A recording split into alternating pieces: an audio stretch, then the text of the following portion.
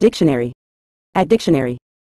In a general sense, the expression, fly in the ointment, refers to a small but significant flaw or problem that undermines the overall positive aspects of a situation or plan. This phrase originates from the idea of a fly contaminating medicinal ointment, rendering it less effective.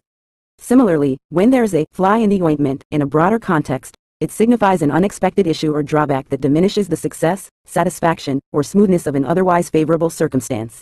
It highlights the presence of an unwelcome element that, despite its seemingly minor nature, can have a noticeable and negative impact on the overall outcome.